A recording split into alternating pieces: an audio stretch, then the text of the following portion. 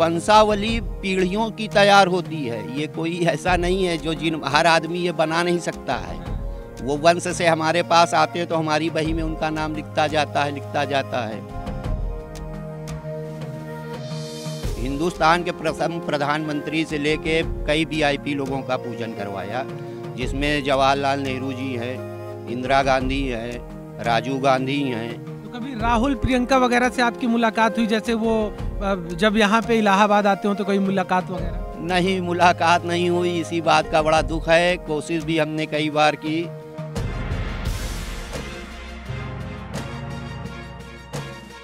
एक ज़माना वो था कि नेहरू जी की शादी में हमारे बाबा जी बिल्कुल आगे आगे रहते थे। उनके पास, वो पास, आज भी इशू है प्रधानमंत्री कार्यालय से कि जब वो इंदिरा गांधी से मिलना चाहते थे, पास के माध्यम से मिल लेते थे।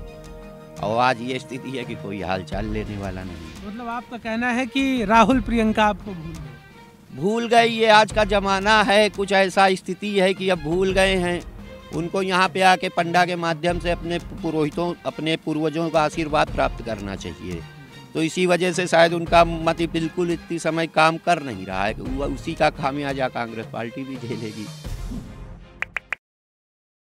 नमस्कार, मैं रूपेश मिश्रा इस वक्त मौजूद हूँ प्रयागराज में और दिलचस्प बात यह है कि इस वक्त हम गंगा किनारे मौजूद हैं संगम पर और इस वक्त हमारे साथ एक बेहद खास पंडा जुड़े हुए हैं। इनका नाम गोपाल पंडा है और दिलचस्प ये है कि ये पांचवी पीढ़ी से ये काम कर रहे हैं और इनके पूर्वज इंदिरा गांधी से लेके राजीव गांधी, जवाहरलाल नेहरू, तमाम लोग जब यहाँ पर आते थे तो उनकी पूजा पाठ करवाया करते थे। गोपाल पंडा इस वक्त हमारे साथ मौजूद हैं उनसे बातचीत करेंगे। गोपाल जी सबसे पहले आप अपना परिचय दीजिए। जय प्रयागराज की। मेरा नाम गोपाल पंडा तीर्थ पुरोहित प्रयागराज है। और हम कश्मीरी तीर्थ पुरोहित जितने पंडित हैं हम उनके पंडा हैं। उसी के अंतर्गत ये नेहरू खानदान के भी सभी लोग हमारे ही जिनमान हैं हम उनके तीर्थ पुरोहित हैं। और इसी के क्रम में मार्कंडे कारजू भी chief justice of India high court retire हो चुके वो भी हमारे जिनमान हैं। तो ये जितने कश्मीरी काक खाग कौल जितने हैं ये सब कास्ट हमारे जिनमान हैं। अच्छा ये बताइए किन के आपके जो पूर्वज थे उन्होंने किन किन बड़े नेता यहाँ पे आए किन के किन के साथ उन्होंने ये पूजन का कार्य करवाया? हमारे पूर्व पूर्वजों ने हिंदुस्तान के प्रथम प्रधानमंत्री से लेके कई वीआईपी लोगों का पूजन करवाया जिसमें जवाहरलाल नेहरू जी हैं इंदिरा गांधी हैं राजीव गांधी हैं और इन्हीं के और परिवार के कई सदस्य हैं जो आते हैं श्रद्धा भाव लेके तो उनका कार्यक्रम कराते रहते हैं और कराए हुए हैं उनका प्रमाण है हमारे पास फ़ोटो है वंशावली है। कई प्रमाण हैं जो है हमारे पास प्रमाणित करने के लिए। अच्छा ये वंशावली मतलब कैसे तैयार होती है और आप ये मतलब कैसे कह सकते हैं कि वो आपके जजमान हैं? या वंशावली पीढ़ियों की तैयार होती है। ये कोई ऐसा नहीं है जो जिन हर आदमी ये बना नहीं सकता है। वो वंश से हमारे पास आते हैं तो हमारी बही में उनका नाम लिखता जाता है लिखता जाता है। तो वो पीढ़ियों से जो जिनमान जो जिसका पंडा जो जिनमान अपने पुरोहित पास जाता है तो वो लिखते हैं। वो वंशावली हमारा एक तरीके से आय का स्रोत है कर्म का कार्य है तो वो वंशावली हम लोग तैयार करते ही हैं हर जिनमान की। तो अभी आपके पास मतलब कितने वर्षों पुरानी वंशावली होगी? वंशावली तो बहुत है अब तो खराब हो गई ना। पहले तो अरबी में भी वंशा आती थी वही लिखना पड़ता था। फारसी में भी वही लिखी जाती थी।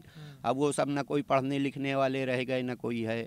अब हिंदी में ही वंशावली है। है अभी भी हमारे पास तीन चार सौ वर्ष पुराने लोगों की वंशावली है। तो मतलब तीन चार सौ मतलब वर्षों की वंशावली आप लोग कैसे मेंटेन करते हैं? क्योंकि कागज़ खराब भी हो जाते होंगे कभी कभी तो मेंटेन करना उनको एक चुनौती होगी। चुनौती है मेंटेन कराना पड़ता है पैसा खर्चा करना पड़ता है हर पाँच साल दस साल पे उसको पूरा रिन्यूअल फिर लिखवाना पड़ता है। नए सिरे से काम नए सिरे से काम करना पड़ता है नहीं तो कागज़ तो है ही है कागज़ तो कहीं दीमक खा जाता है कहीं बरसात में सड़ जाता है ये तो चलता ही रहता है यहाँ पे।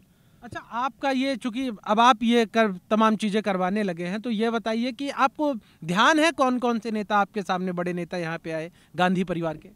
देखिए तब तो हम बहुत छोटे थे। अब हम पहले तो घर के बड़े बुज़ुर्ग ही करते थे। अब परिवार में कोई बड़ा बुज़ुर्ग बचा नहीं। अब हम ही हैं। तो अब चाहे मजबूरी कह लीजिए या प्रयागराज की सेवा करने का मौका मिल गया अब हम संभालने लगे हैं विगत पाँच सालों से।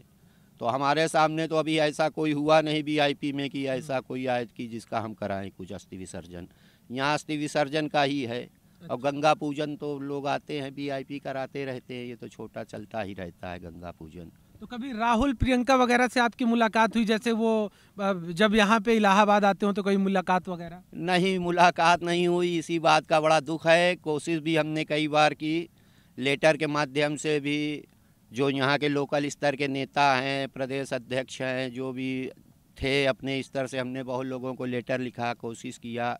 अगले साल बल्कि अमावस्या पे आई भी थी प्रियंका गांधी अरैल में और नौका विहार भी किया काफ़ी चर्चा थी उस समय। लेकिन दुखद है कि उस समय भी वो अपने पुरोहित को भूल गई। और कुछ ऐसा हुआ वाकया कि मुलाकात नहीं हो पाई होते होते और हम तो कोशिश में लगे हुए हैं कि भाई हमारे यात्री हैं हमारे पुराने पुश्तैनी जुड़ाव है घर परिवार की तरह एक जुड़ाव था एक ज़माना वो था कि नेहरू जी की शादी में हमारे बाबा जी बिल्कुल आगे आगे रहते थे। आनंद भवन में उनका धाक था। उनके पास वो पास आज भी इशू है प्रधानमंत्री कार्यालय से कि जब वो इंदिरा गांधी से मिलना चाहते थे पास के माध्यम से मिल लेते थे। और आज ये स्थिति है कि कोई हाल चाल लेने वाला नहीं है। मतलब आपका कहना है कि राहुल प्रियंका आपको भूल गए? भूल गए ये आज का ज़माना है कुछ ऐसा स्थिति है कि अब भूल गए हैं। और भूल गए हैं तो शायद उसी का खामियाजा भी कुछ ना कुछ किसी न किसी कारणवश हो रहा है। देश में ये स्थिति है कांग्रेस पार्टी। कांग्रेस पार्टी की सत्य बात है जब आप अपने पूर्वजों को आशीर्वाद उनके यहाँ पाँच पाँच पाँच छः छः पूर्वजों का अस्थि विसर्जन हुआ है। उनको यहाँ पे आके पंडा के माध्यम से अपने पुरोहितों, अपने पूर्वजों का आशीर्वाद प्राप्त करना चाहिए। प्रयागराज महाराज की पूजा करनी चाहिए। तो वो चीज़ वो उनके दिमाग में कोई डाली नहीं पा रहा है। तो इसी वजह से शायद उनका मत, बिल्कुल इतनी समय काम कर नहीं रहा है। उसी का खामियाजा कांग्रेस पार्टी भी झेलेगी। अच्छा तो प्रियंका गांधी इस समय पूरा उत्तर प्रदेश पे ज़ोर लगाए हुए हैं। तो क्या लग रहा है कुछ बात बनेगी कि नहीं बन पाएगी? ग्रह दशा खराब है। आई हम तो मनाते हैं प्रयागराज महाराज से कि। बिल्कुल बने हमारे यात्री हैं तो हमारे जिनमान खुश होंगे तभी तो हम भी खुश होंगे। तो हम तो मनाते हैं कि भाई हो लेकिन कोशिश उनको भी करनी पड़ेगी। हमारे अब वो वीआईपी हैं हम चाहे जितनी कोशिश करें मुलाकात हो नहीं पाती।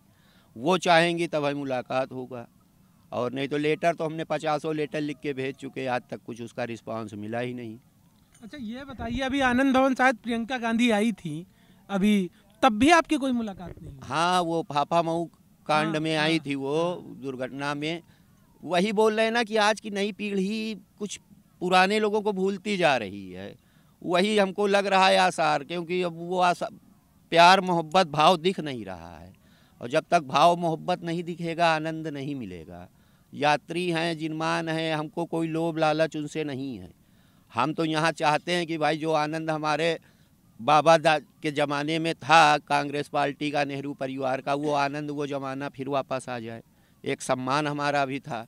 आज हम भी किसी को यहाँ पे सब हमसे मज़ाक ले लेते हैं कि, या कांग्रेस ये है, तुम्हारे जिनमान ये हैं, तुम्हारे जिनमान ये हैं। तो इसमें हमारा क्या है? ठीक है भाई, सब हमारे जिनमान हैं, कई तरीके के हैं, कोई अच्छे भी हैं, कोई बुरे भी हैं। लेकिन जिनमान को भी पंडा का महत्व रखना पड़ेगा, तभी उनका भी उद्धार होगा। तो ये प्रयागराज के गोपाल पंडा हैं, जिनकी आपने बात सुनी और इनके मन के अंदर इस बात की बेइंतहा टीस है कि यजमान को जितना ख्याल रखना चाहिए, यानी राहुल प्रियंका को भी अपने पंडा का ख्याल रखना चाहिए, लेकिन अफसोस कि वो उनसे मुलाकात ही नहीं कर पा रही। कैमरा पर्सन समर के साथ मैं Rupesh Mishra the fact fact India, Prayagraj.